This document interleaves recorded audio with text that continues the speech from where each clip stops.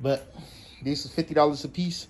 It was three hundred dollars worth of shipping. So the best thing to do just get uh, go with half for somebody or just buy a huge amount.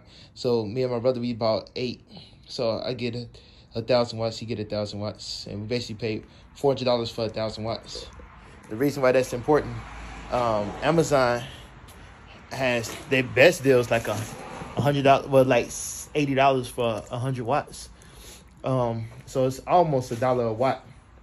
With this, you get a thousand watts for four hundred dollars. Uh, so that's twenty five cent a watt. So okay, my next project, trying to post this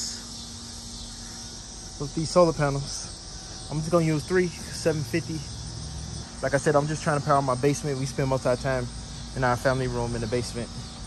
All right. Uh, then had those rails. I'm trying to do this on the budget.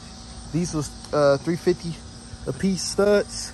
So that's three, that's four, I'm sorry. Uh, then there was about another four right there, so that's eight.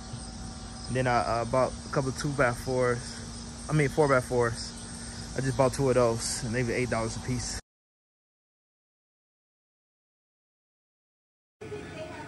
So I only got 750 worth of panels up now, but I raised them up. And since I raised them up, I'm still getting fast 60 down. It's midday right now. It's about uh, 1.30, 1.30 p.m. So that's the reason why we have that much. That first hooked up didn't quite work for me. See, the problem is I have the Xbox and PlayStation running at the same time. They both pull over 800 watts. Uh, over the course of a day, once we once the sun goes down, we continue to play the video games with the TV. TV is another 100 watts, uh, roughly, if you round it up with the modem and the router. So I'm pulling roughly a thousand watts uh, constantly. Now, if we allow our children to play from about six o'clock to eight o'clock, that's uh, two hours of a thousand watts continuously coming from the Bluetti. So I ran into an issue uh, I had a limitation of uh, 2000 watts in that system. Therefore, I decided to go the modular route. So later on, you're going to see me move from the Bluetti and, and add the modular batteries. Well, I ordered these. I actually went on several websites that had these huge um, 48 by 100 uh, volt kits, and they were sold out, stuck in customs. But then I came across Ampere Time, not endorsed, but I saw it on Amazon, and they actually had some in stock, and they only have a four to five day wait. So I ordered this last week. I canceled my orders at the other companies. I won't dog them out because I understand things is crazy for everyone. Um, but I went to Ampere and I found out these batteries was half the cost. If you can zoom in, two 12 volt 200 amp batteries for half the price. I thought that was amazing. Look at this. It's cased in plastic. It looks beautiful. So we're going to see how this works. I got two of them. I'm to run them in series. So that's doubling the voltage to 24 volts. That's 24 volts, 200 amp hours. So if you calculate that, it's a little bit over 24 uh, volts. Fully charged, it'd be about 25 volts. So that 25 times 200, y'all can do the math. That is 5 kilowatts of energy. That's amazing. This stuff my son told me to record this. I didn't even think about that because I was watching YouTube videos to learn how. So right now I'm trying to chain these together, and I'm gonna put them inside this gang here. So then, so now I got the neutral. Neutral go into the um, I guess the chrome looking stuff. It's into the chrome one. And so I'm connecting these neutrals together, and and which one is neutral the, again? Neutral is the uh, white, and the white is going to the chrome now I got my uh, fire or the um, the positive. I guess I'm supposed to call it the fire wire. That's this black one, and I got this going into. Uh, I got this going into the brass. So how I try to remember black and brass, black brass, and I'm gonna put this. I'm gonna chain this over to this uh, brass here. I'm hoping that's sufficient. I can close this up because I'm not going to use this. I'm done. So I close that up. These cost 68 cents. I would tell my son, when he get older, he gonna have people or himself. He could either choose to go get a cheeseburger or he could make an outlet. stuff like that you gotta think about.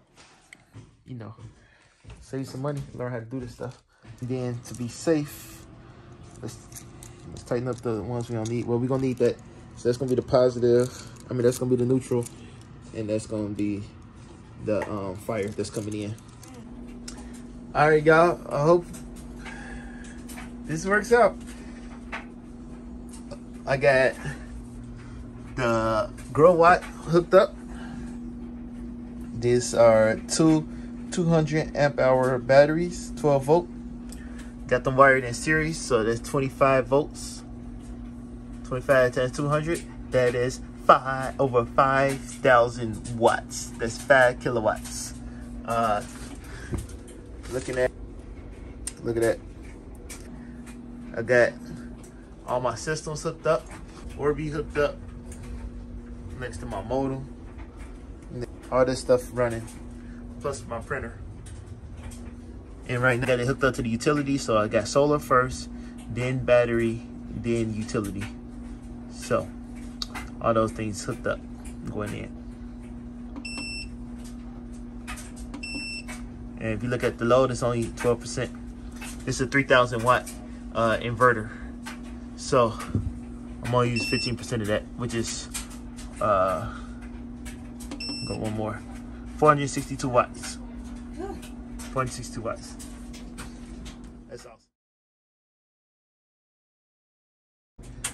Okay, let's see. It's been a few weeks now.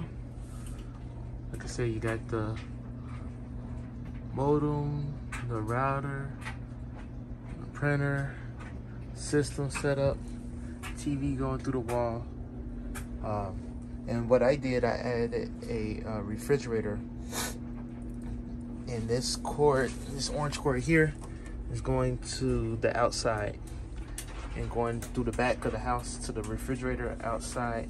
So I'm powering up our extra fridge, all using this uh, 5 kilowatts of batteries. These two 12 volt. Uh, if you want to look at the thing, um, right now it's almost midnight. So this has been, and it's October 1st. So this has been running off of battery power. Uh, right now we stay at 25.6. Give you an idea, uh, it says midnight, so zero, zero voltage, zero amperage amperage, I'm sorry. Um, now let's look here. If you look here, it's only 2.6% load. Uh, the TV is off. Only thing that's going right now is our internet devices, uh, which is the modem and the router and the outdoor fridge. Uh, also, that's a total of 59 watts. Uh, as you know, with the fridge, uh, the compressor comes on occasionally uh, to keep the fridge cool. Uh, bad being in the garage, we don't open it often. Uh, so it's, it's pretty low power to begin with. It's an energy efficient fridge. And um, by it being midnight, it's pretty cool outside in October. So uh, it's not drawing much wattage. You can see it's starting to cool up now as we speak, but that's still, that's little to no wattage. Uh, you still get ghost charges. Like this is the hard drive to go to the Xbox, the external hard drive. Uh, I believe this is still charging. So yeah, that's so it's a it's ghost charging through these devices, but at this point it's negligible. Um, so good to go. And since I added the fridge to the inverter, I decided to add the extra solar panel. So now I have a thousand watts coming in, which is uh, pretty good. Uh, I never get a thousand totally, but I get close to it. Uh, so it's working out pretty good. Hope to give you updates soon, and hopefully I can show you some savings on my bill. We'll see. I haven't seen it yet with the air conditioning. All right. Take care. God bless.